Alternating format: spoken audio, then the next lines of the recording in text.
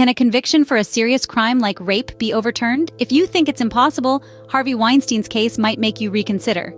Yes, we're talking about that. Harvey Weinstein, the once influential Hollywood producer, whose name has now become synonymous with scandal and disgrace. The 72-year-old man was convicted of rape, only for the startling news to break that his conviction has been overturned. It's a plot twist that's left many of us reeling. So, how did we get here? Let's rewind the clock and take a closer look. The year is 2020. Harvey Weinstein, once a titan of Hollywood, is convicted and sentenced to 23 years in prison for rape.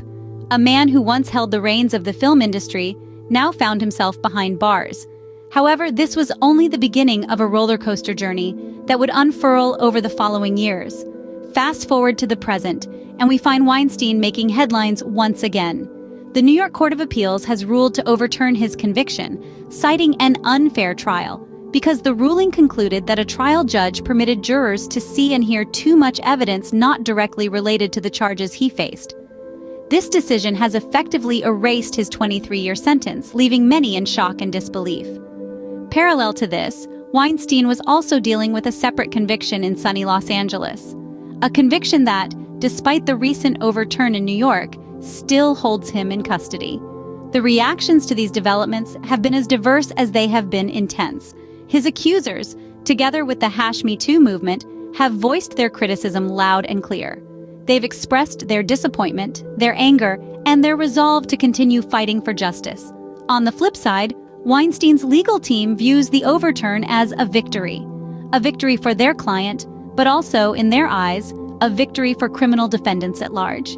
Yet, as tumultuous as events have been, the plot is far from over. The Manhattan District Attorney is gearing up to retry the case.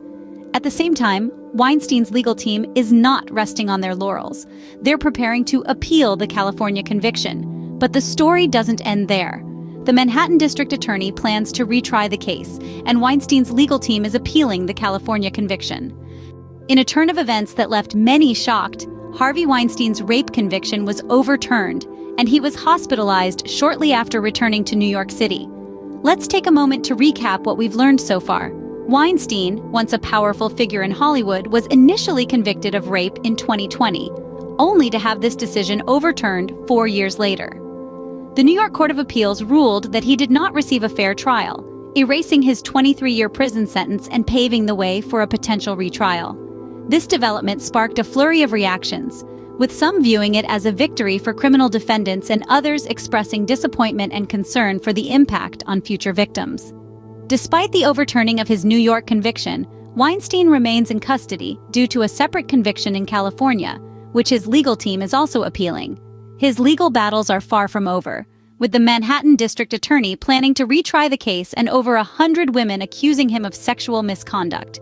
The spotlight remains firmly on Weinstein, as his case continues to ignite discussions about justice, power, and accountability in our society.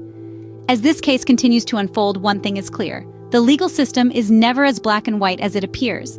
Thank you for watching. Don't forget to like, subscribe, and comment below with your thoughts on this controversial case.